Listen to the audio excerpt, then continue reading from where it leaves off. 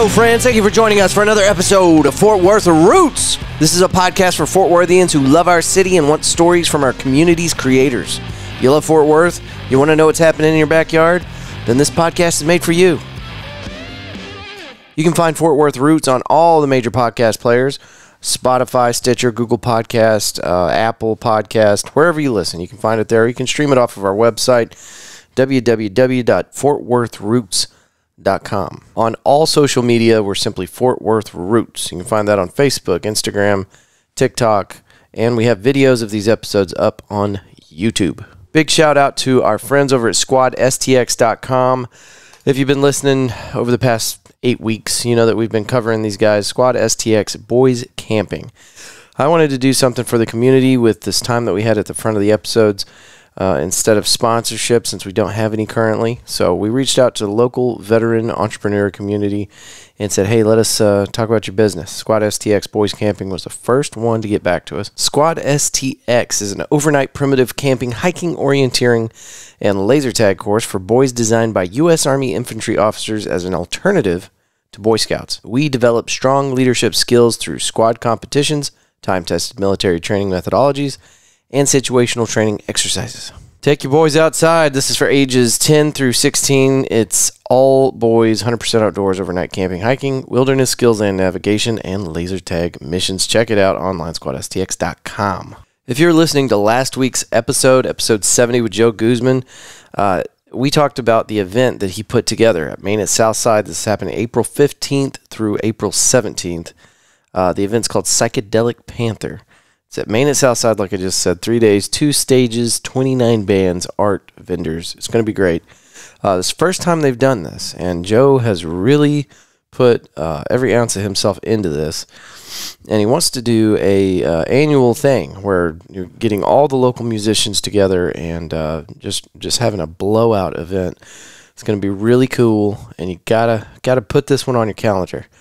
I don't think anybody's expecting you to go to all three days. You can definitely go to all three days if you wanted to, but there's an entire weekend there where you can decide what day works best for you. Go out, catch some live music, show your uh, support for the local artist community, and do the thing. Psychedelic Panther, April 15th through the 17th. Uh, that is going to be at Main at Southside. And the event that we've been talking about this for a long time. We are finally in the month of April, so the countdown has begun.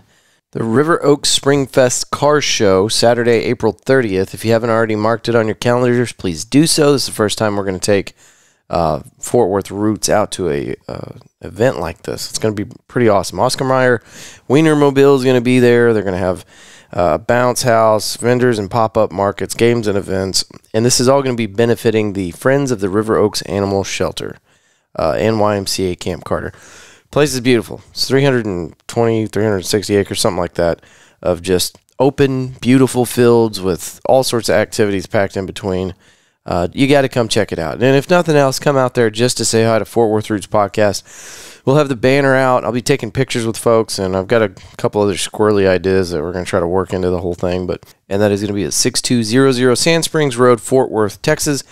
You have to use the address. You will not find this place if you don't know where it's at already. You, you got to use the address. Don't go over there thinking you're just going to like stumble upon it. That's not how this works. Stay tuned to the very end of this episode. There are a lot of things that we covered in here that I want to address for you. It's also going to make its way into the show notes too, but there's restaurant suggestions and links and things that need to be discussed. So, our guest today is somebody that has done everything in Hollywood that you can possibly do for the film industry. He's been a producer, a director, an actor, a stuntman.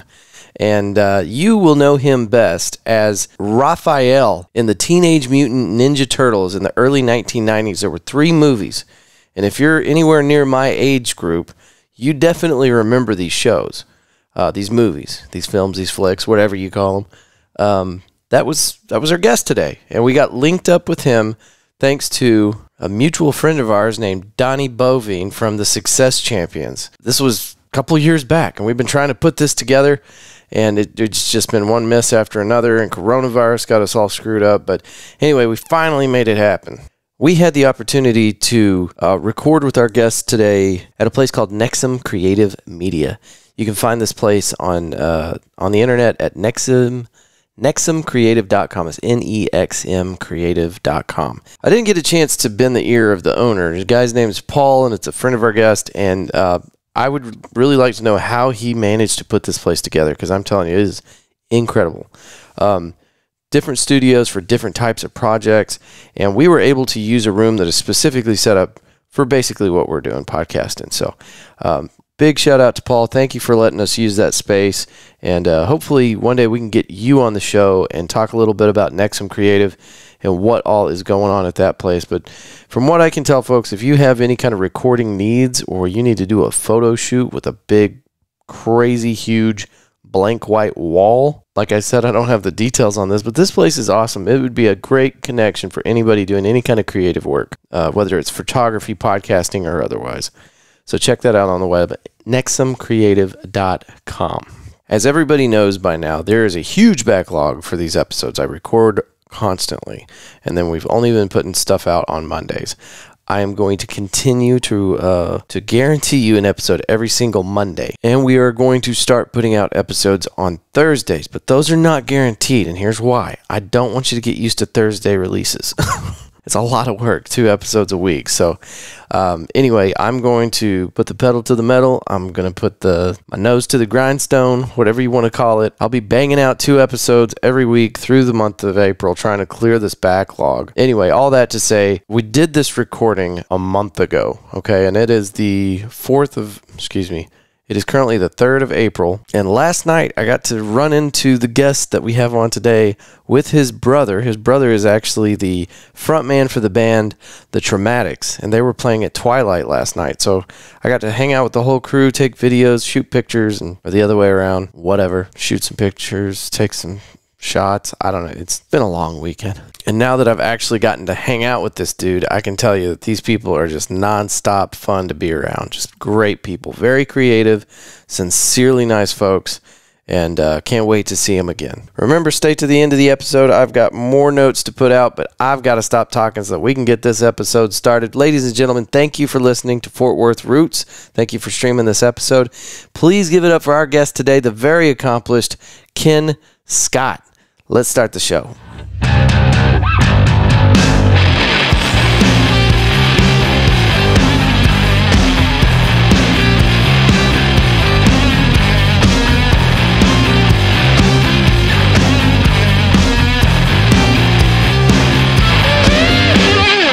I know there was a little bit of pushback whenever you found out that I wanted to do it in person, but I oh I I'm just so used. I'm so used to it for the last year and a half. It's all just been online. Right, everything. It just surprised me that you wanted to do it. Doesn't you know? Yeah. so I'm all good with it. Well, I appreciate your time. I wanted to start off by asking you about Fort Worth, places that you like to hang out, restaurants around here that you enjoy. You know, um, coming from Los Angeles, one of the things that I really enjoyed out there was the eclectic culinary scene, Mm. and I, I, I consider myself what I call a food adventurer. Okay. I like to find places that are maybe off the beaten path or, you know, the, the typical hole in the wall that has good food. And in a place like Los Angeles, you can find a variety of cultures, a variety of foods, and um, different iterations of foods from the same country and all that. So it's, it's a wide uh, expanse, um, territory of food out there. Coming to Fort Worth was a big change for me from a food point of view because A, I moved here as a vegetarian.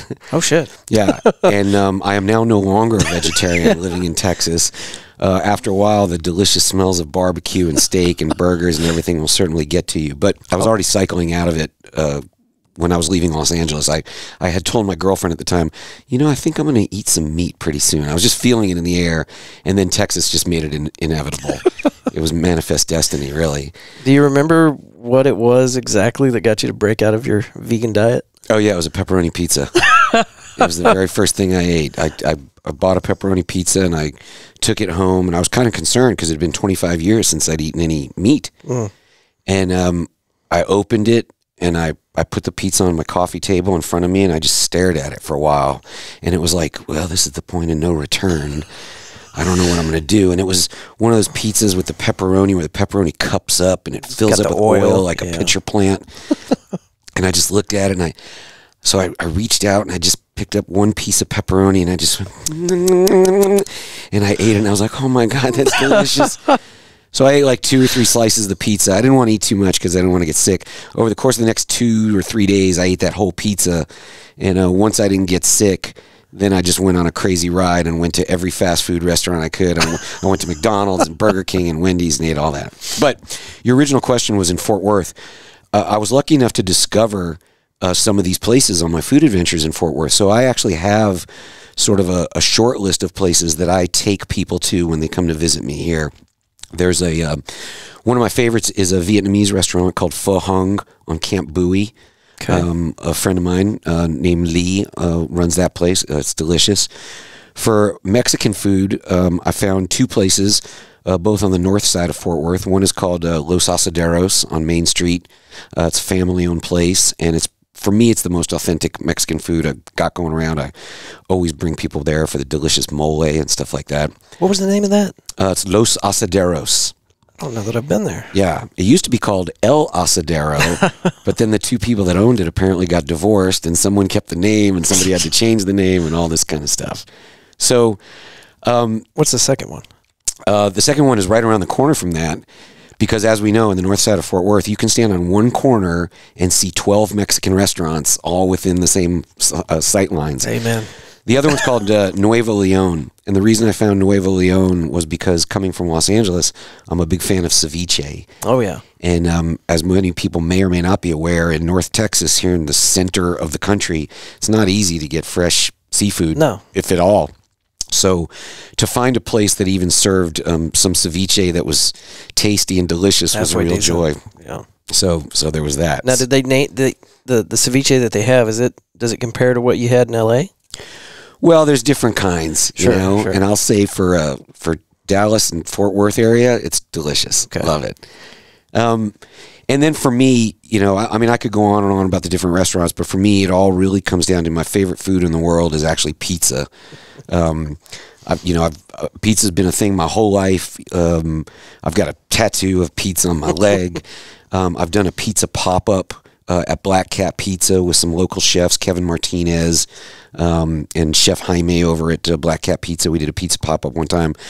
But uh, I'm a big fan of um, uh, Joe's Pizza around the city. There's all different Joe's. Yeah. Heisen's Pizza on University and Zoli's on Hulen because they have Zoli's. Yeah, Zoli's has the. As a matter of fact, I just ate there today.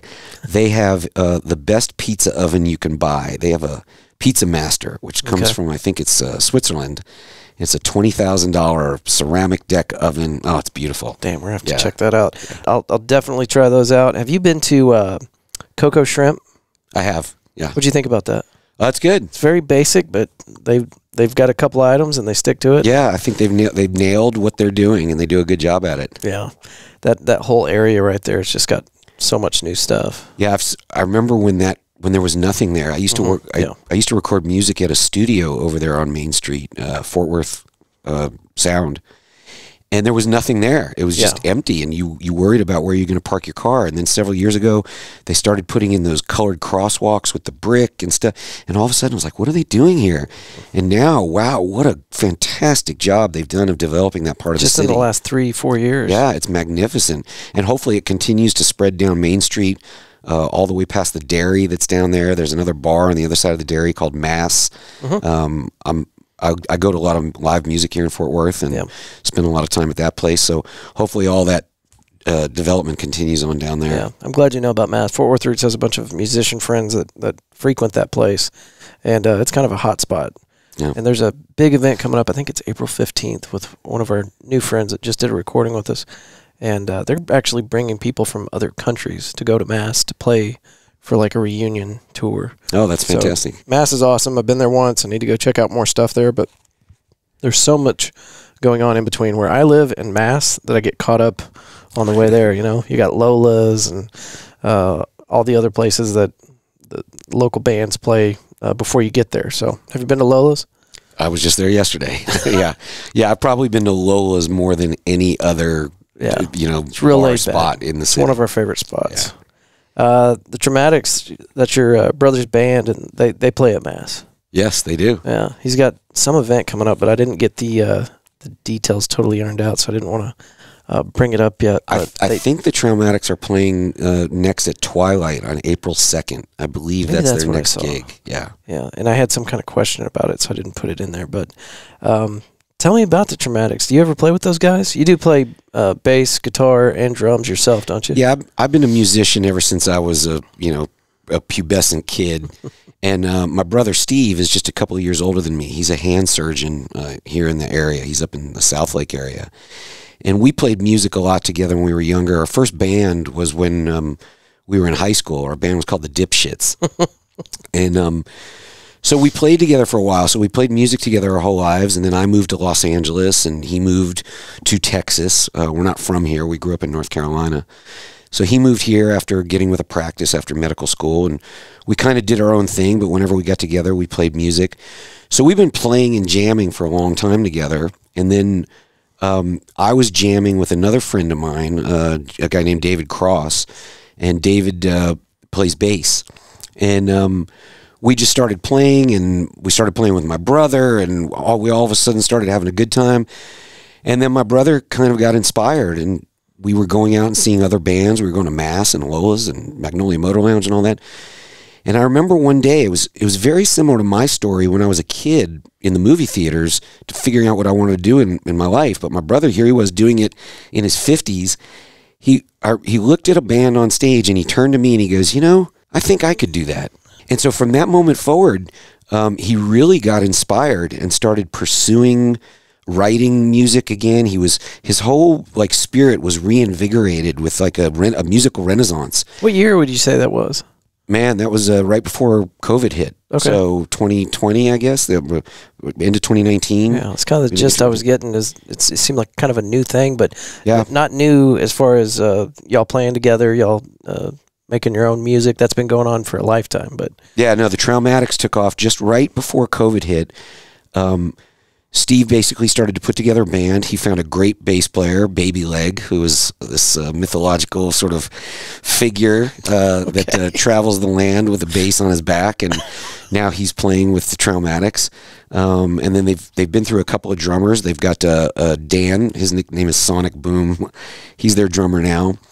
But um, yeah, they started playing, and my brother kind of said, you know, he he sort of extended to me, hey, do you want to be a part of this? And um, I played in bands in Los Angeles, and we played. I was in a very successful band that played all up and down the Sunset Strip and everything. So I know what it takes to be in a band and to play live and all that. And I'm wasn't interested in that. Yeah. Much less interested in being a drummer and doing that because drummers get it the worst. They got to carry all the shit wherever they're going, and it's the worst of anybody. Singers have it the easiest, then guitar players or bass players, then guitar players, and then the drummers have it the worst. So I didn't want to be responsible for carting all this stuff. At the same time, um, this was the first time my brother was going off on a creative endeavor on his own outside of being the brilliant doctor that he already is. And it was important for him to go on this journey on his own and learn how to work with other musicians and manage and all that. And he did not have an experience, a background in entertainment like I do. So he kind of needed to figure all that stuff out himself. And I think that was an important part of the journey. So him, so he kind of took off with those guys to do their thing yeah, and uh, they became the Traumatics. And outside of anybody that lives with a member of the Traumatics, I'm their number one fan. I'm at all the shows. So that's awesome. yeah, Yeah, I, that was the first thing I uh, came to mind. You know, finding out that you played all these instruments and your brother has a band. Surely you'll gig a little bit, but it, it's nice to know you got the wisdom to say, "Eh, I'd like to, I could, but no, you go do your thing." yeah. There's yeah, there's a lot going on. You know, and I've it, at the same time I'm also trying to pursue my things. I wrote at the time that he was doing that. I was um, I think my book had just come out.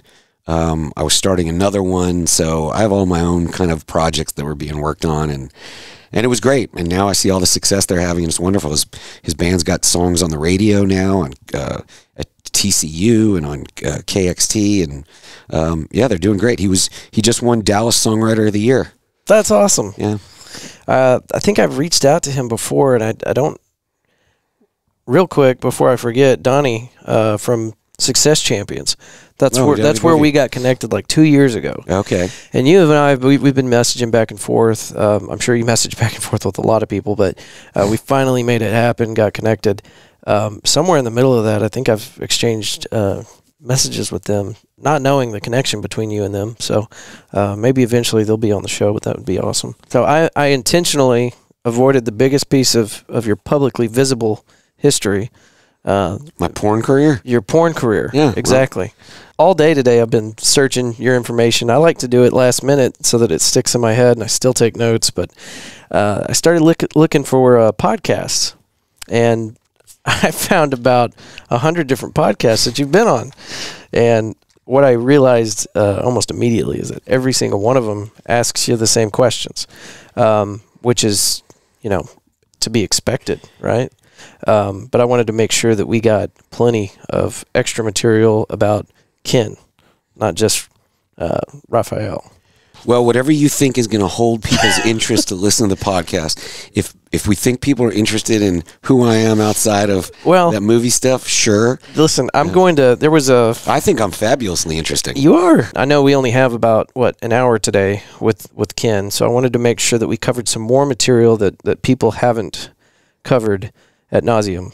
And I, I could hear you talking to some of these podcasters. It's like, okay, and then you start on your spill telling the whole story. So, Well, that's Um, you know that's one of the reasons I wrote the book originally that I did write is Right. because after a while, you know, I've been doing this now for 30 years, and you run into people, and there's a lot of the same questions over and over. Right. And that's why I usually ask. I don't know if we did this, but I usually ask podcasters. My the one demand I have is they got to read my book before Right. we do the interview. I don't know if we did. I think we didn't talk about it. In fact, I uh, I actually did not know that you'd written a book until uh, we had set up a time to do this. Okay. and so I didn't have time to get that book. I will be reading that book, and I also know you have another book that you're working on. And uh, whenever you have that up for release and you're ready to talk about it on the show, It'll be I will. I will have read that book, and we'll be ready to promote the next one. It'll be a hot minute. Well, that's why I wrote. That's why I wrote the book originally, is because after 30 years, you see a lot of the same questions coming up. You know, how, hey, how did you get that job? um, was it hot in that suit? Yeah. uh, a lot of that stuff. So I was able to go through the book and take all these stories that I've told at Comic Cons and interviews and on the radio and all this stuff and put it all together and take all the answers that any fan of the Ninja Turtle movies would want to ask. That has asked. Yeah, probably. that has asked, know- and even ones that they haven't asked. There's stories that in this book that people don't know anything about that go beyond the typical surface stuff of where do the turtles come from and what are their names and things like that. And Yeah. literally talks about the pain and suffering and blood, sweat, and tears that literally blood, sweat, and tears that go into making a costume movie and working with all the people and stuff like that. So, um, I realize that people want to know these stories. So I don't ever get tired of telling them or anything like that. I mean, it's been a great part of my life. And the fact that Ninja Turtles has touched so many people and it gives me the opportunity to share that with them. And, you know, for me, my experience is very different. Everybody. Everybody always asks me, "Hey, did you see this Ninja Turtle movie? And did you do that?" And the truth of the matter is, I don't have any Ninja Turtle stuff in my house. Like, Right. there's not statues of Raphael. and there's nothing. Um, I don't go see a lot of, you know, the Michael Bay Ninja Turtle movies or anything like that because my whole experience is on the other side of the mask looking out rather than looking towards. So for me to be able to meet people where this has become the mythology of their life, you know, this is for me it was Star Wars growing up, right? That was the heroic journey as Joseph Campbell talks about. Now for a whole other generation of people that are in their 30s to 40 now, Teenage Mutant Ninja Turtles is their mythology, and they look back on that like that's their childhood. I can't tell you how many times I've been at Comic Cons and stuff, and the, the line that people say to me is, "Man, you were my childhood," and so I get to be the recipient of people sharing their joy and love and unbridled passion that they have, not for me necessarily, but for the turtles. Right. I just happen to represent that for them.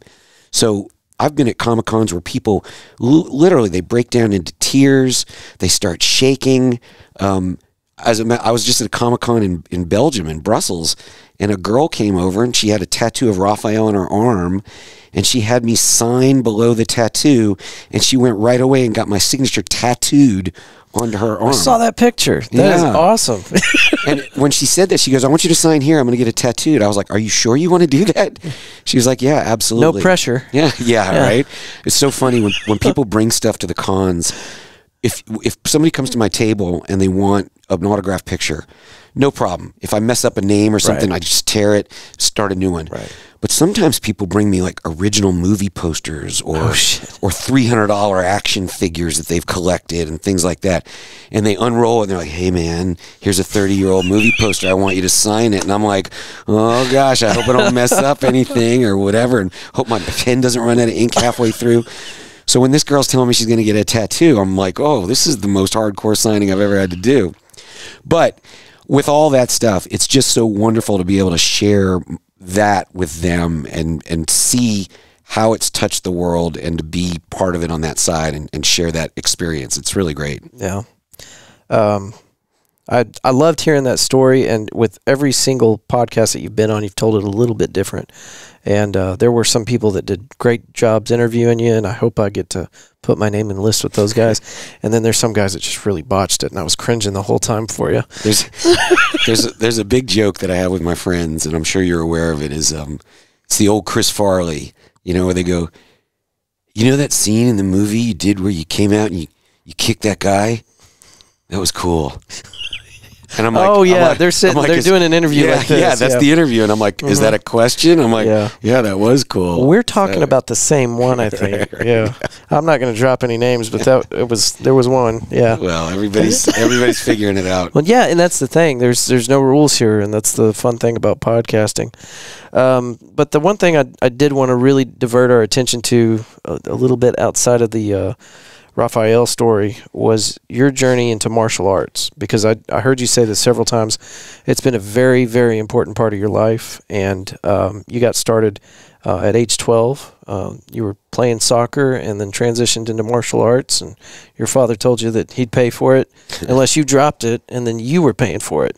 Right. What a hell of an incentive! Yeah, yeah. I was, um, you know, for for the outs for the rest of the world, the most defining factor about me is that I played Raphael the Ninja Turtle. That's how most people see me, and it's the first thing they can categorize.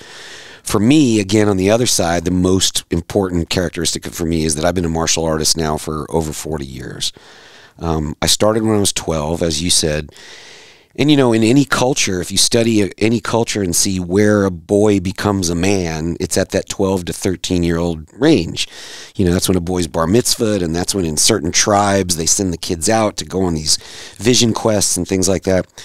So it just so happened for me, naturally, I fell into karate training at 12 years old. I had I'd been pushed around a little bit at school. I had seen some kids doing some martial arts stuff that I thought was cool, and as you said, I just I went up to my dad and I said, "Hey, I really want to take karate. I'm interested in this," and it was 15 bucks a month. And my dad said, "All right." He th- he figured it was going to be like any other hobby, like model rockets or those slot car racers, and that I used to have. And he thought I would start and then just quit after a few months Right. and lose interest. So he said, "All right, I'll pay for it, but if you quit, you have to pay me back for every month that I've paid for." It was 15 bucks a month at the time. And I was a kid. I was uh, 12 years old. I was like, whatever. I mean, money was Right, nothing to me. I was like, yeah, okay, no problem. So I signed up and started taking karate. Now, cut to years later when I've been doing it for a decade, and I would always fool around with my dad and be like, if I quit now, do I still owe you like 10 years of martial arts and all that stuff? So yeah, I got involved in martial arts. I started taking uh, Goju Ryu karate, which is an Okinawan form of karate. It's the kind that Miyagi teaches Daniel San in the Karate Kid movies, wax on, wax off. Uh, the character of Miyagi is actually named after Miyagi, the founder of Goju Ryu, and that's why he says, "Yes, my family discovered karate and all this kind of stuff." so I started in Goju Ryu karate. It became my obsession as a kid. Uh, I started competing. Um, I was pretty good at it, uh, despite being, you know, a short kid. Um, I started competing around the country. I started winning. Uh, I eventually got my black belt at 17 years of age. So it took me about five years to get my black belt or so. And um, then went off to college. And once I went off to college, Um, I did what a lot of people do in college. I started drinking a lot of beer and eating a lot of pizza and stuff. But I also was meeting other martial artists from other styles and systems, and started just working out with different people, and that started to expand my horizons a little bit. Then, as time went on, um, as soon as college was done, martial arts is what allowed me to get my job as a Ninja Turtle.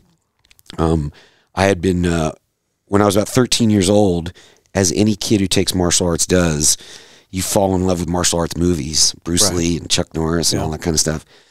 So I, my dad used to take me to go see these movies. This was before HBO and the internet and all that stuff. So you had to go to a movie theater to see Good Guys Wear Black or Force of One with Chuck Norris.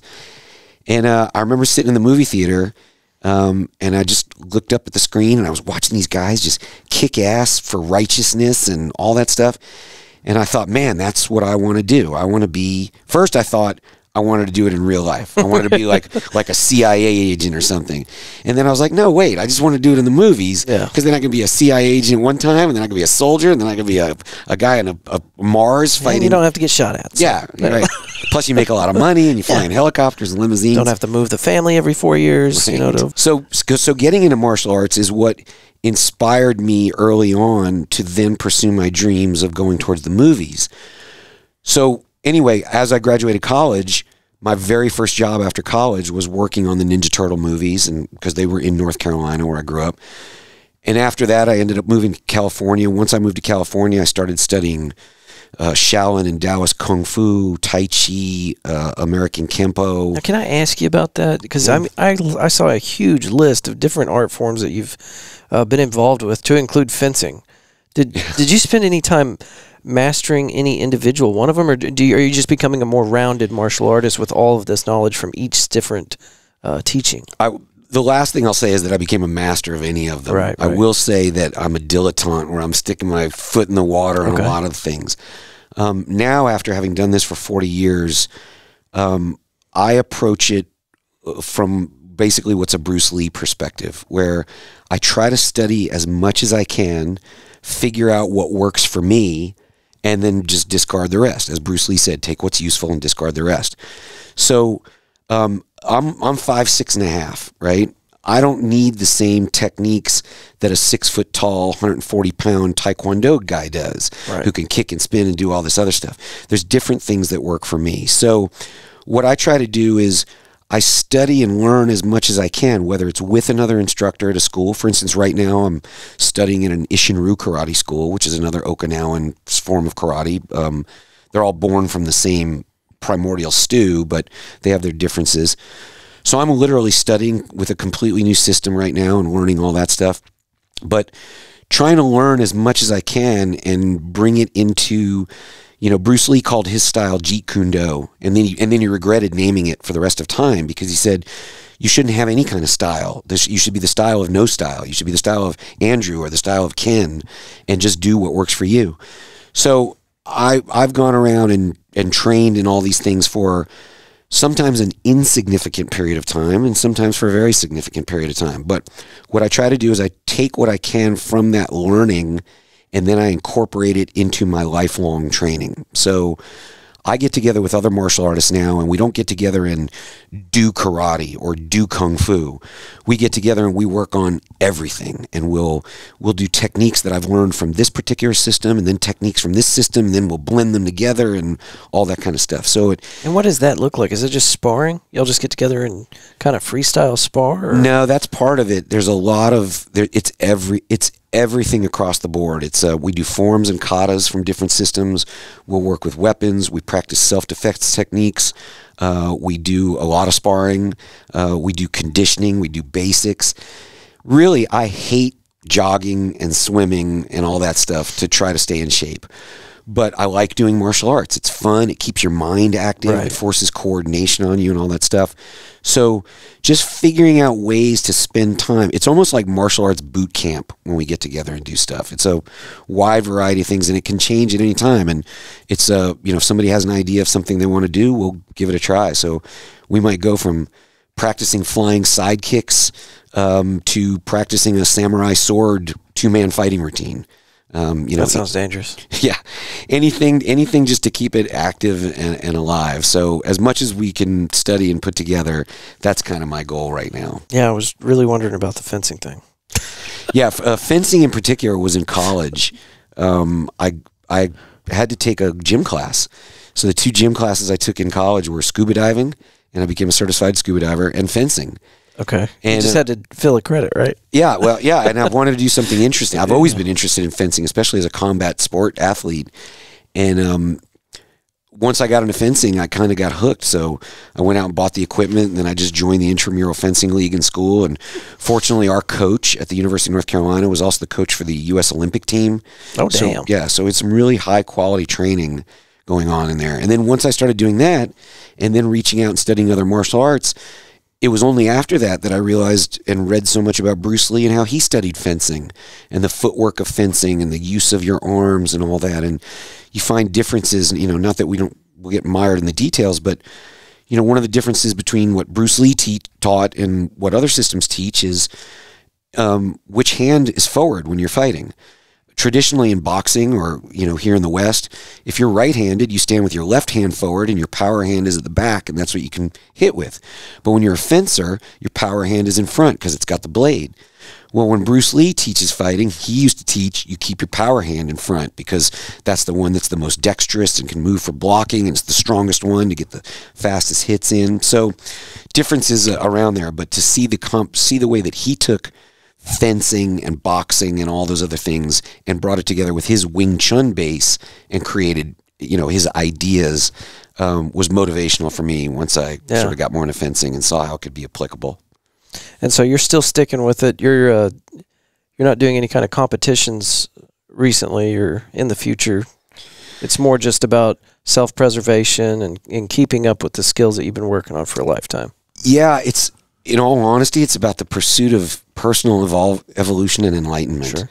Um, you know, for me as a martial artist, it goes beyond the hey, it's time to get dressed and go to the gym and work out. It's a daily life of meditation and reading and study, um, and just you know what it's what's beautiful is it's all self-directed learning. So like right now, I'm deeply, deeply for the last year, I've been in a deep immersion into samurai and Buddhism and studying Miyamoto Musashi, the sword saint of Japan, and some other great sword legends, and seeing how all that stuff works. So it's it's it's really about learning beyond the physical techniques of martial arts and using it for your betterment as an individual. These last couple of years with your interest in Buddhism and everything else you just listed, um, is that where your most recent mantras are coming from? You mentioned a couple today during the uh, different podcasts I was listening to. The one that I do remember you saying is luck is uh, what happens at the intersection of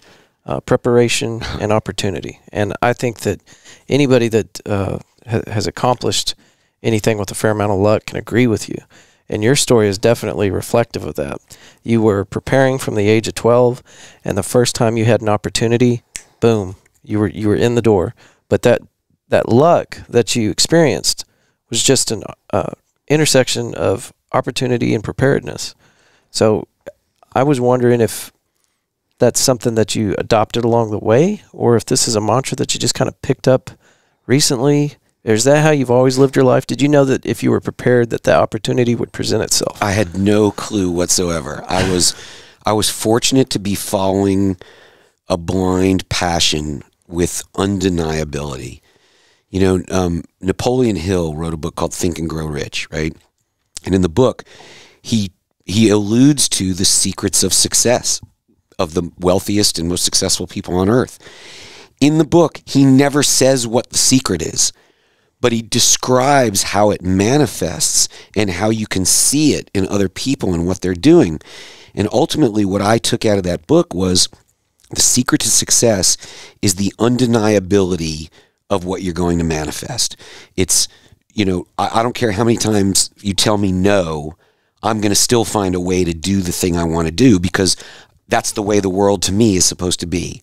I knew that I was going to be an action hero in the movies. I just knew it. There was no other course or concern for me. So I just put all my effort into doing those things and just became a steamroller. And I ran into a lot of no's, and I just either went around them or went over them or did whatever it is to get by them. In my the ignorance of my youth, I was basically just blessed with the fact that I was driven by such a hot passion.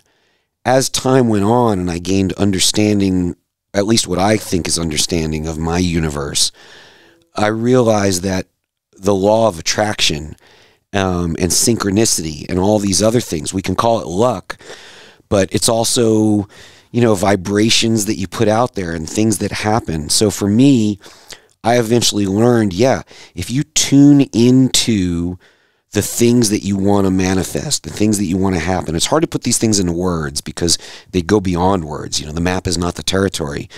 Um, but if you tune into those things and put all your effort and energy into it, and in Buddhism they call that karma, right?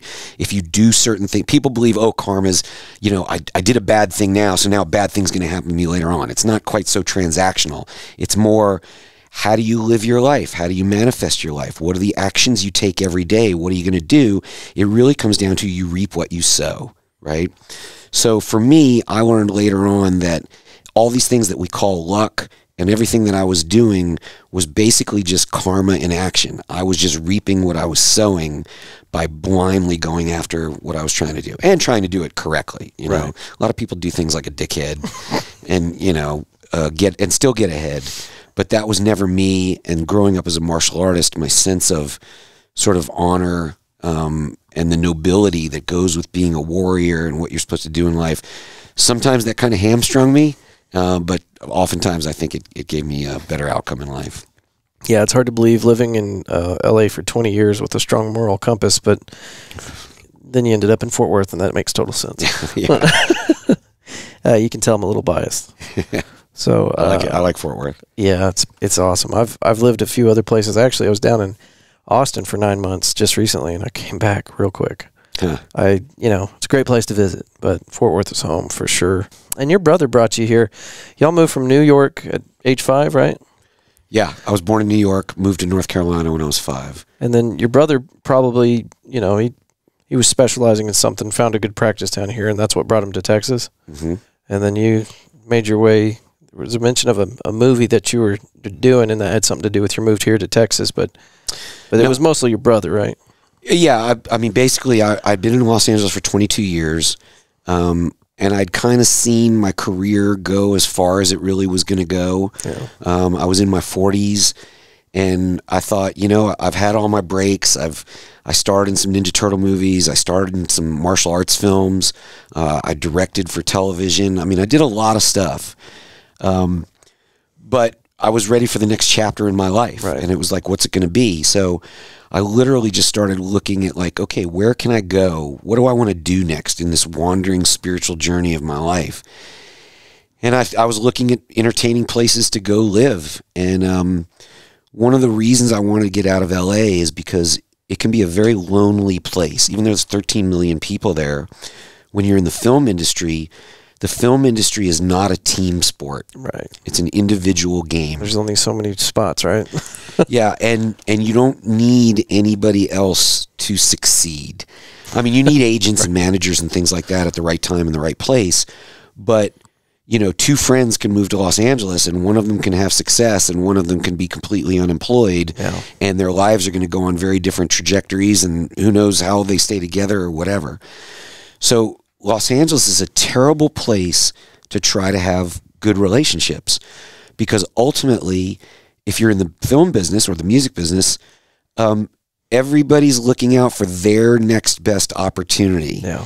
And if something comes along that's going to benefit them, A, they need to take it, and B, they're going to take it if they can, despite what it means to anything left in their wake. Yeah.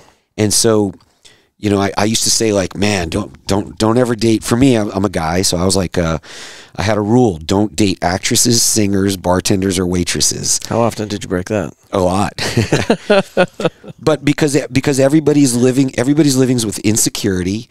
Everybody's you know living hand to mouth, trying to get to the next thing, and everybody's looking for a bigger, better deal. So for me, after 22 years of that in Los Angeles, there's this old joke that you know, you can move to Los Angeles with three friends, and when you leave Los Angeles, you'll have three friends. so after 22 years, I was kind of like, I was isolated from my family. My uh, my dad was living in Florida, my mom was living in Washington D.C., my brother was living in Texas, and I was in California. So I didn't really have anybody. I was just a single guy in my 40s. So I decided for the next phase of my life, I wanted to be closer to somebody in my family because I think I, I, was, I got the feeling that that was more important for me now than it was back then. Yeah. So I thought about DC, moving near my mom, but that was crazy. DC's a fortune to live, and there's no, you know, it's crazy. But man, my mom lives in beautiful. She lives right on Pennsylvania Avenue. Mm. Um, so anyway, I moved. I visited here for the last 20 years, visiting my brother. I thought Fort Worth was kind of cool. There was no state income tax. I was like, I'm going to do it. yeah. So I came to Fort Worth, and it's been great ever since. That was eight years ago, and I've loved it ever since. I found a home here. You kind of answered this a minute ago, but uh, you know, you you've done just about everything inside the movie movie industry, and you've produced, you've directed, you've been the stunt guy, acting roles, all of it. Um, is that pretty much over? I mean, you, you said that's kind of concluded your time in L.A. Do you think you'll ever direct, produce, or otherwise be in a movie? I currently still do some directing for TV commercials and stuff. I work in marketing now. Right. So I still get to stretch my creative muscles a little bit. Um, also, creatively, I still play music, and I'm sure I'll still be involved and do some stage work and stuff doing that. But um, no, I don't see myself really. I mean, I've been in front in all honesty, I've been in front of the camera a couple times over the last few years just for some cameo commercial stuff that I've mm-hmm. done. But no, I don't really see anything happening unless, you know, if somebody came back and said, hey, it's time to make Showdown 2 or something right. like that. People always ask me, they go, hey, if they make another Ninja Turtle movie, are you going to be part of it? I'm like, dude, first of all, I'm in my mid 50s now. If I put on a 65 pound foam latex suit, I'd have a heart attack. So yeah, I don't I don't foresee anything happening. You never say never though, you know. Yeah, well, and this is something I wanted to touch on with you too because it's changed so much since 1990 whenever the first uh, Ninja Turtle movie was made. Practical versus CGI. Um, and we're at a point now where CGI is just absolutely incredible. Uh, 10 years ago, it really, you know, it was disturbing that they would uh, substitute an actual character for the CGI because it just wasn't there yet. There's a commercial on TV right now with LeBron James talking to himself when he's like 14 or something. And it's a CGI of LeBron James and LeBron when he's 14. And it's spooky. Like undiscernible or just No, no, because it you know, they still they're so close, but they still haven't perfected life in the eyes. Right. The eyes always sort of have this kind of vacant un- inability to really look at something. And so I'm watching this commercial and it's still creepy. You know, mm-hmm. it's still creepy because it's just not quite right. Um, but it's getting so close yeah. that these deep fakes and everything mm-hmm. that you can do now, it's incredible. Yeah. But S- some of them I've seen, and you, you really have to study it for a minute. Yeah. To and and the the hardest ones to determine are the ones where they're kind of panned out a little bit. Now that one where he's in the mirror, I haven't seen it, but I'd imagine you got a pretty up close look at the eyes. You'll see it. It's uh, that's it's, nuts. It's weird and creepy. But, but I think. Uh, you know, and I'm not sure what the specifics of your question were, but I can address well, just, just the practical the, the magic CGI. that's been, lost there. Because I, in 1990, when the Ninja Turtles came out, um, that was brand new technology. Nobody had ever done that before, and that, and from that point on forward, the uh, practical uh, makeup or costumes or whatever you want to call it uh, was really advanced and it was really starting to look cool. And uh, there are some movies, some really Ridley Scott movies and otherwise that capitalize on that, and they still use practical uh, makeup and and art uh, in their films, and those those seem to have a tangible quality that you can't get with CGI. Well, I think you hit it on the head when you said a tangible quality. Uh, you know, the difference is the the undescribable and sometimes unrecognizable visceral reaction you have to what you're seeing on screen. Um, for me, I relate it specifically to stunts. Um, I grew up wanting to do stunts and action and all that. I loved everything about stunts and behind the scenes movies and all this kind of things that you could see about how Hal Needham and all these guys were were doing what they were doing. Dar Robinson and all the great uh, stunt guys and coordinators And then as CGI came into play and you started having you know actors on a crowded freeway and cars going by them and it's obviously CGI it looks neat and you and the joke is still there in the film but you don't have that sweaty palm heart sick feeling about oh my god what that that just happened Yeah. because there's just that little bit of unreality that's still there. Now, again, they'll surpass this as technology continues to get better and better, and they're they're so much further along than they were just you know in our lifetimes. But uh, I, I remember this one. I don't know why this stupid movie sticks in my head, but there was one movie with Eddie Murphy and Steve Martin called Bowfinger, and they were they played movie producers. And in the movie, they were trying to make this low budget movie themselves. And in one of the scenes, they had Eddie Murphy's character try to run across the 405 freeway in Los Angeles with traffic just running by. Well, in the film, it's so obvious that it's Eddie Murphy in like some kind of layered computer generated cars and hmm. things going by. So you just don't buy it. Yeah. You're just like the thrill's not there. And so everything they're trying to create that the tension, the worry, is he going to get hit? Is it it's just not there. Yeah. And so when you look at things like Ninja Turtles, you know, the original Ninja Turtles, we had Jim Henson develop Puppet Tektronix, which you named, which was the um, the fanciest animatronics of the time, fancier than any Disney parks, anything. But those turtles, man, you can touch them. You can reach out and poke them, and and they're there, and they're in the scene, and they're casting shadows, and they're there's a certain energy that's there.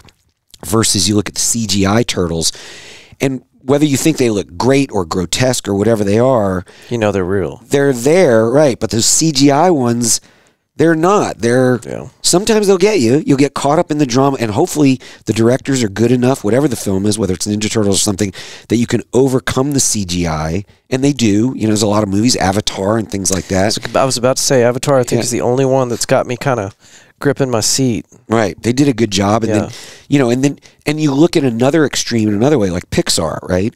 Pixar is not trying to look real, Mm-hmm. But yet at the same time, they make some of the most emotionally heartrending movies you could possibly see. I mean, they're, they're some of the best filmmakers on the planet making Yeah. those movies. But it's all CGI stuff, but it's not trying to imitate, you know, humanity.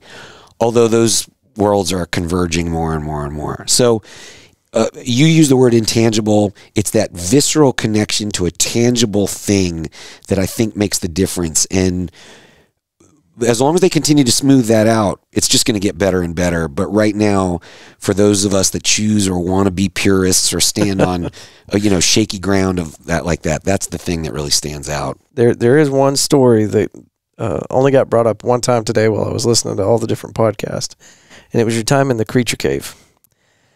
Whenever they're uh, getting your mold ready, I had to ask you about this one because I I died laughing. I had to stop what I was doing and just take a minute because that that was that was pretty excellent. This uh, sort of alludes back to my porn career that we were talking about earlier. Um, Now I've got to include that. Yeah. so yeah, when um, when they make a Ninja Turtle suit or they make any kind of body costume for you for a movie, the first thing they have to do is take a mold of your body, very specifically, of every nook and cranny and crevice. Because ultimately, when they end up finishing making the suit, it's custom form fitted to your body. So the first step you go through is they have to encase you completely in plaster of Paris. And once you're encased in plaster of Paris, you sit there for 20 or 30 minutes while it dries. And then they take a hammer and chisel and they split the whole thing in half. You step out. And then when they put it together, they basically have a negative form of your body that they can fill. And so, so they did that for me. They made us, they, they had to make a statue out of my body. Well, in order to make this statue, and this is the exact same thing they did for David Bowie in Labyrinth, right? Because he had all kinds of body suits and everything. So when I, I flew to London and I went to the Jim Henson Creature Shop in London, which is a very unassuming place. It doesn't look like a Muppet factory or anything. It just looks like some artist's garage, really, just bigger. And um, they sent me down into the basement. And down in the basement, there's like these five or six Cockney guys that they're like football hooligans, really. And they're sort of like the Oompa Loompas of the Muppet uh, world, where they run around and they do all this stuff, and they're the plasterers, and they're, they're just kind of the laborers of uh, the creature shop. Well, they had me stand in this one area, which is the exact same place David Bowie had to stand to do his stuff, and then they they basically. It almost looks like they crucify you. They you, they hold your arms out to the side and they tie your arms. They tie loops around your wrists and they hang you from the ceiling, just your arms. So you're standing there with your arms completely extended out to the side, and you're wearing basically just a skin tight lycra bodysuit, like a dancer would wear in ballet, a male dancer. Well, when you're wearing a skin tight lycra bodysuit, you can see everything about you. You know, you can if you got a dime in your pocket, you can read the date on it, and you can certainly tell whether you're Jewish or not. so, as I'm sitting there in the basement, and all these guys start to get this plaster of Paris, they're putting these bandages in warm water, and then they start slapping it all over your body. Now, I'm at this point, I'm like 22 years old. I'm in great shape. My heart's pumping. My circulation is fantastic. And I've got somebody down on their knees putting hot, wet plaster of Paris around my crotch. Now, without even thinking about it, and it's not certainly not assigning any gender one way or the other, when you have hot, warm plaster of Paris around your nether regions, Biology's taken over. yeah, you're certainly going to vasodilate your, uh, you know, vascular system. Everything's going to open up, and blood's going to flow. so blood started flowing to the lower regions of my body, and I started to have a reaction such that the guy who was on his knees putting the plaster Paris on looked up at me and goes, "Oh, you getting a little excited?" And without even missing a beat, I said, "Well, you're just so cute." Did he think it was funny? Oh yeah, we were, Okay, we were all all right. laughing. I'm, I'm sure it's not the first time it happened. Maybe it is. I don't know. But so then what happened was they proceeded to make my plaster Paris body mold. Well, Too late to stop now. yeah, when they took the cast off, Raphael turned out to be very well endowed. And so once they made the statues of our bodies so that they could make the co- the costumes out of them, um, the statues were made out of fiberglass.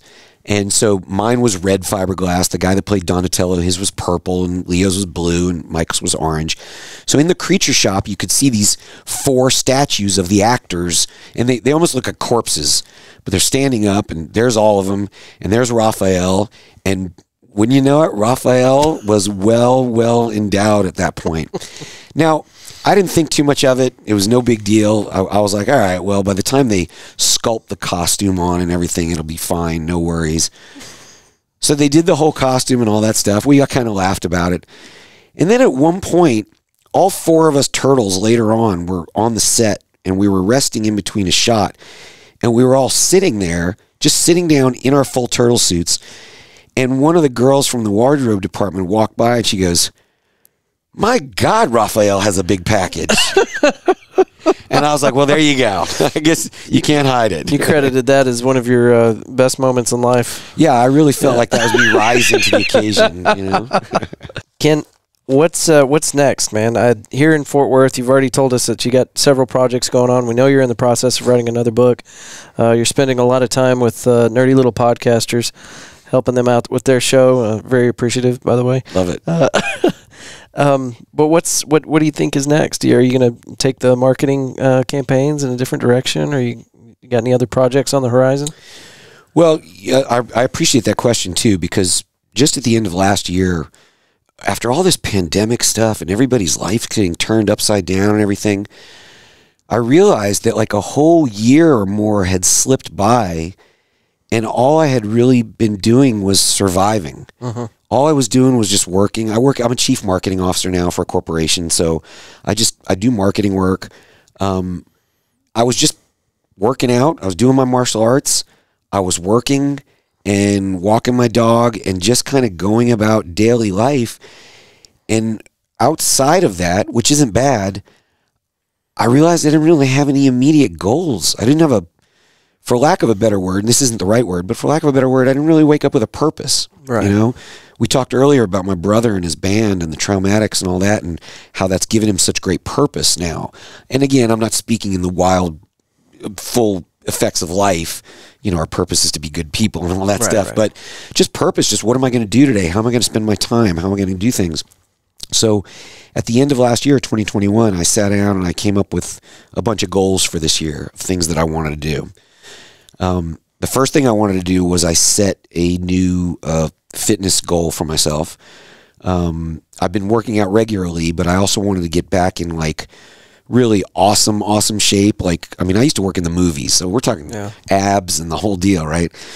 So the first thing I did is I set a goal to lose 20 pounds and uh, get my fitness program on. So I started the year with a 21 day intensive samurai training immersion thing. And I did it. I ended up losing all the weight and doing the thing. And so my goal was to lose this weight and then get a tattoo. I haven't gotten the tattoo yet because I'm still figuring out what it's going to be. Well, I did But- see your before and after pictures from this little challenge, and my God, man! Yeah. And for the people that are listening and not watching the YouTube video, he's he's sitting here. He's he's being very modest. He's he's swole. He's he's ripped. well, I'm, tr- I'm trying to do that. So anyway, so my goals were I wanted to try and get in better shape, which I'm doing. Um, I wanted to finish my second book. So I'm now 55,000 words into the book. The last book was 66,000 words. So I'm getting close. Um, but to be honest, I really have to overwrite and then Right. edit back. Right. So I'm I'm probably about three quarters of the way through it, really. So I want to write a second book. Um, I'm trying to uh, get into some real estate stuff. I, I made my first real estate deal last uh, year, so I'm trying to do another one of those. Um, and then I want to learn how to make pizza. I love pizza; it's my favorite food. Someday I want to own a pizza place, um, but I don't make pizza, so I'm setting a goal this year to build a pizza oven in my backyard and uh, learn, experiment with different doughs and things like that, and do all that.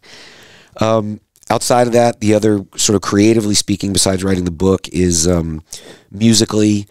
Um, before this year is out, I plan on putting together a um, a musical show um, of just original rock and roll stuff, and finding a place and performing it and putting together the band. So I've been working with some other musicians to do all that for fun.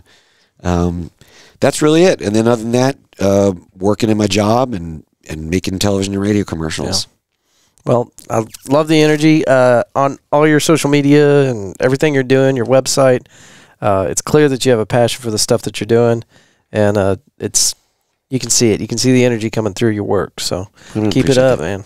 Um, where can people find your content?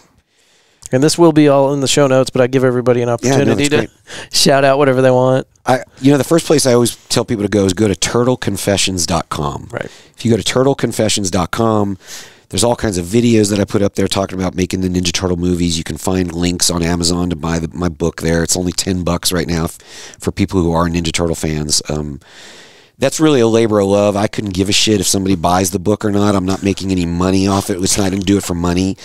Um, I literally did it because for 30 years of people asking these things, this was sort of a chance for me to, you know, share it with people. Yeah. So I always tell people at Comic Cons and when I meet them, I go, look, if you really love the original Ninja Turtle thing, movies, you will love this book. So go check it out. For So- people listening, real quick, that's Teenage Ninja to Mutant Turtle, uh, becoming the real Raphael, and he intentionally spelt real with two e's. Yeah. So Yeah, that's you know, you know why because what what happens is um I'll be out at a lot of social stuff and invariably this happens in my life. Somebody will go, "Hey, this is my friend Kenn. You know, he was a Ninja Turtle." And people kind of go, "Oh, okay." They don't know does that mean I dress up at kids' birthday parties? Did I have something to do with a cartoon? Did I, was I? I mean, there's so many things that could be. They have no idea, and even people then even try and further define it, and they'll go, "No, he's one of the OG turtles." Seriously, and they're like, "Oh," and this is what I have to do all the time. I go, "Look, let me explain what my friend's trying to say." Did you ever see the Teenage Mutant Ninja Turtles from 1990? Yeah, I'm the guy in the suit playing the red. And then they go, "Oh, I get it." so on the book, because there's so many people that are cartoon voices and concerts and all that, I put that R E E L to be the movie turtle. So people can go to turtleconfessions.com, check out my author website. You can find me on Instagram at Kennjitsu with two N's. Um, and that's K E N N J I T S U. And then on Facebook, you can find me at Kenn Scott Raphael. Awesome, and that will be in the show notes, so y'all didn't have to write that down. You can scroll back and look at that. We're at an hour two. Do I have time for one more question? Sure. I thought of this as we were going through all my poorly written notes, but um, I think I heard, and I didn't have time to go back and check this, but all of your uh, Ninja Turtle stuff started from you sneaking into the set disguised as a pizza delivery guy. Is that true? Yeah, once again, pizza comes up. um, yes, what happened was I was going to college in North Carolina, and I was doing everything I could to prepare to be move to Hollywood and be an action hero once I graduated college. Well, somehow uh, Dino De Laurentiis, famous movie producer, built a movie studio in North Carolina uh, at the beach, which is about three and a half, four hours from where I lived. So during the summers, I would drive down there, rent an apartment for two or three months, and just try to figure out how to work as an extra or break into the movies. I didn't even know what I was doing. I was just blindly going after, and the movies were there. They weren't in my neighborhood, so I went down there and just hung around trying to figure out how to get in. so the movie studio was there in, in Wilmington, North Carolina, and it's not like you can just walk up to a movie studio and they'll let you in. It's a you know Right. there's there gates Security. and walls and and this was all pre 9/11. So when it came to security, there was literally just like you know a retired guy sitting in a guard shack. Making nine bucks an hour. yeah, not not like it is today. Right, right. And so I I knew somehow I didn't know what it was, but I knew that there was some kind of holy grail on the other side of that fence. Somewhere in that movie studio was some magic orb that was going to give me all my dreams. I just didn't know what it was, and I just had to get in there. Well, I couldn't figure out how to get in, and finally it dawned on me one time that everybody likes the pizza guy. Nobody's going to turn down the pizza guy. He's bringing fresh, delicious pizza that somebody wants. So I got a Domino's pizza delivery uniform. I got a couple Domino's pizza boxes. I set them on the seat of my car, and I just drove up to the guard shack. And I was super nervous. My palms were sweating. And uh, the guard came out of the gate. He's, "What can I do for you?" And I said, uh, "Yeah, I have a delivery for the production." I didn't know what was going on. I didn't know there was anybody producing a movie at that time or anything. And uh, the guy looked at me and he kind of leaned down. I thought he was going to grab me. I mean, I, I was, I was really nervous. And he said, uh, "Okay, well, just follow the yellow line and drive on back. You'll see all the cars parked. Just go park back there." Because he wasn't going to stop somebody. He doesn't know. Maybe the director ordered a pizza, you know, Right. And he doesn't want to get in trouble for His that. ass. Yeah. So he, so he raised the little gate, and I drove right on by, and I was like, "I'm in. I'm in."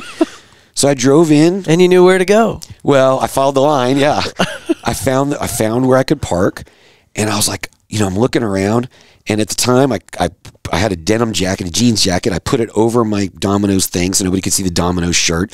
Took off the Domino's hat, and then just got out of the car. And I'd seen enough movie sets around town and stuff that there's a lot of people around. If, if you're just ninja like, you can kind of fade into the background. Don't be an idiot and make yourself noticed. So I kind of faded into the background and just started watching. They were making a movie. They were shooting this movie that had a there was a gunfight going on and a car screeching around the corner and there was a famous stunt coordinator there and I was just like, "Man, this is amazing." So ultimately, I ended up meeting the people that cast the extras in that movie. And we just got to talking and you know, they weren't worried about who I was or anything. They just thought I might be visiting the brother of somebody Right, on the set. We got to talking. I, I told them I was a martial artist and all that. And eventually they were like, well, you know, we have a project coming. It's a secret. We can't tell you what it is, but we think we have a film coming and we're going to be auditioning local martial artists. So if you'd like to audition, let us know. And I was like, yes, that's why I'm here. I knew the golden orb was There it is, yeah. this side of the thing.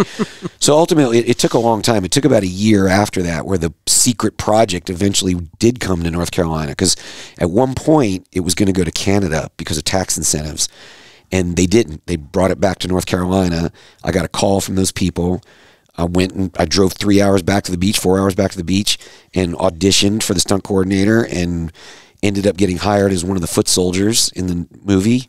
And then from that point, then my journey started, and I went from foot soldier to talking foot soldier to stunt Raphael to acting Raphael all the Yeah. way through. Uh, so I just wanted to make sure the absurdity that you got into the whole thing with pizza wasn't lost on Yeah, you. yeah. no, trust me.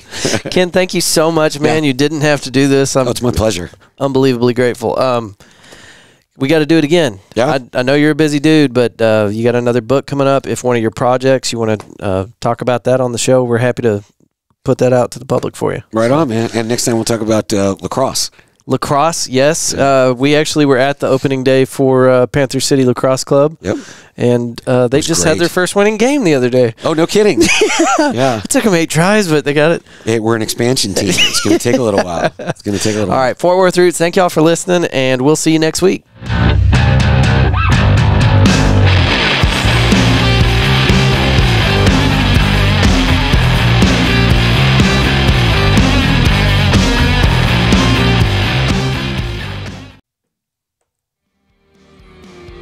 A huge thank you to our guest today, Kenn, for being on Fort Worth Roots podcast. Man, thank you so much. It, it's not lost on me that people do not have to do this. And I'm so grateful for every guest that we have on the show. Getting to record this out at uh, NEXM Creative Media with your friend Paul, uh, getting to hang out with uh, one of my childhood legends, and uh, then getting to run into you at Twilight and seeing your brother play and and your group of friends and everybody's hanging out, interacting, having a good time. It was it was awesome. Anyway, I'm, I'm taken by it. I'm, I'm very honored. Thank you very much for being a, a part of the show, and I hope we get to do some more in the near future. Some of the stuff we were talking about on the show.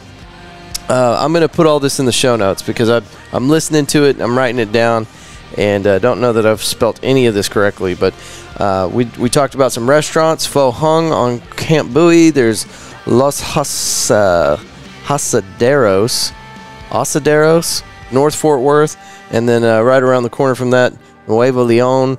And uh, I'm going to try to look those up and put them in the show notes. Uh, but these were suggestions by our, our friend today, Kenn. Told us we need to check these out. We need to eat here and, and try it out. It's good grub. Uh, and he's from LA, so you know he's got to be right, right? Not from LA, but you you listen to the episode, you know the story. Um, and he said Zoli's over in off of uh, Hulen in Fort Worth. He said that was a really cool place. So Sunday today, I went over there and I tried it out, and he wasn't wrong. It's incredible. You got to check it out. It's called Zoli's. It's off of Hulen Street, um, and it's r- real damn good. And it's very, very kid friendly. I think every table there except for ours had kiddos hanging out. So anyway, that's it. Um, those were the the big important notes. I'm also going to look up this podcast called Spear Talk. Um, like I mentioned in the episode that we did with Kenn, everybody really piled into the uh, Raphael story whenever they were talking to Kenn, and I wanted to do something a little different today. Now, there's going to be a, probably going to be some disappointed people here because whenever I tell you that I I did an interview with one of the original Teenage Mutant Ninja Turtles, you're probably wanting to hear all about that. Um, we'll have time for that. We're going to get Kenn back on to talk about his next book release, and um, we'll, we'll talk more about Raphael then. But I wanted to definitely make sure that we talked about things that were important to Kenn and kind of dive into some of that. Now, I've got some movies that he's made that I've got to watch, I've got some books to read. I'm going to be way more prepared for this next one. And maybe I could get uh, Kenn uh, and Steve uh, on the show at the same time. It'd be ridiculous. I'd probably just leave the room so that they they could talk it up. So I don't know. We'll see. It's going to be cool anyway. What am I forgetting? River Oaks Car Show, April 30th. Please be there. Um, and then our friend uh, Joe Guzman from episode 70. He's got the Psychedelic Panther, Main at Southside, April 15th through the 17th. And uh, he told me the prices, and I forgot, and I don't see it written on anything right now. But it's it's fairly cheap. You can either do a uh, all weekend pass, or you can just pay for a day pass. So, but this is a great way for you to support these musicians, um, and all at one time, all one central location. And uh, our buddy Joe, I mean, th- if you could imagine yourself just going out on a limb to support something like this, you know, going out there and try to support local musicians.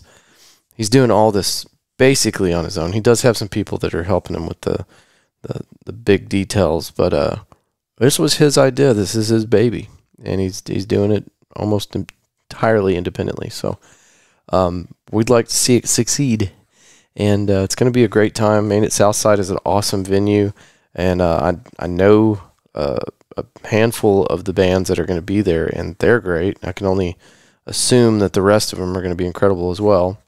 Uh, there's going to be vendors out there too, so it's going to be a good time. April 15th through the 17th, Main at Southside. That it? Boys camping. Get your boys outside. SquadSTX.com. check into that. Uh, give your kids a memory they're never going to forget. You know just as well as I do that the stuff that you remember the most from being a kid is when you're outside messing around, whether it was camping or just playing with a damn stick. We did all the notes, we said all the things. I, I know I'm forgetting stuff. There's going to be show notes, so I'll have a chance to redeem myself in the show notes. If I forgot anything that uh, needs to be added to the show notes, please hit me up. Media at fortworthroots.com. Let me know where I screwed up. I can always add to the show notes. Okie dokie. That's it. Thank y'all for listening, and I will see you hopefully Thursday. But don't get that in your head. That's going to be an extra episode. We are a once a week release podcast every Monday. So let's just leave it with that. Let's just pretend like I'll see you Monday and maybe there will be one Thursday. Our next episode up is going to be with Trista Morris. Uh, she's been on the show twice with Matthew Broyles, uh, and we've kind of lightly talked about her art in the past, but this episode uh, that's coming up next with Trista is going to be about her and her art and a mural that she just finished for the city of River Oaks off of Boulevard Brew, which is a coffee shop on the, the main drag there. I never can remember the name of that road, but it, it's the one that goes past the base and into River Oaks. Um, anyway, good episode. Glad to have Trista back on, and that's the one you can expect coming out next. So, all right, that's it. Thanks, and I'll see you soon. Bye.